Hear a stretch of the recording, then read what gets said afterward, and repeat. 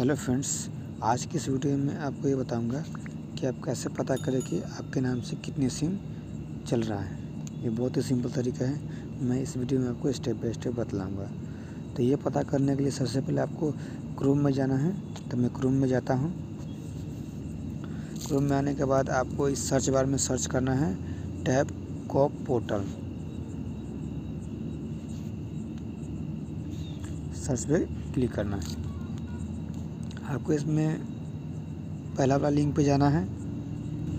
पहला वाला लिंक पे क्लिक करने के बाद कुछ इस तरह का इंटरफेस आ रहा है। तो आपको यहाँ पर अपना कोई सा भी मोबाइल नंबर आपको यहाँ पर एंटर करना है। लिखा रहा है इंटर योर मोबाइल नंबर तो मैं यहाँ पर एंटर कर देता हूँ।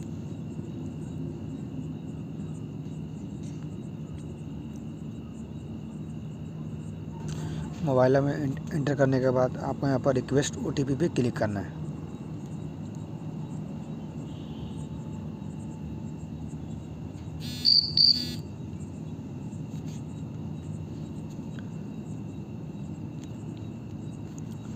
आपको उसमें, आपको इसमें ओ टी फिल कर देना है। यहाँ पर वैलिडेट पे क्लिक कर देना है। तो यहाँ पर देख सकते हैं, यहाँ पर मेरा चार नंबर सो रहा है।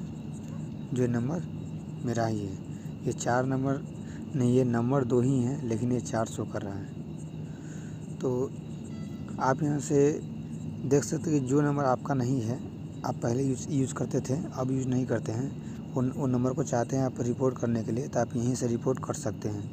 अगर नंबर आपका नहीं है तो यहाँ पर टिक मार्क करके आपको यहाँ पर this is not mine this is not mine यहाँ से उस नंबर को आप यहाँ से रिपोर्ट भी कर सकते हैं। तो इस तरीक़ा से आप अपने नाम से कितने नंबर है, आप यहाँ से पता कर सकते हैं। उम्मीद करता हुआ छोटा सा वीडियो आपको पसंद आया होगा।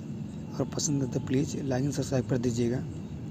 और मेरा जो वीडियो लेट हो रहा है, उसके लिए माफ़ी चाहता हूँ, क्योंकि मुझे चार पाँच से तबीयत ख़राब था, इसलिए मैं वीडियो रिकॉर्ड नहीं कर रहा था।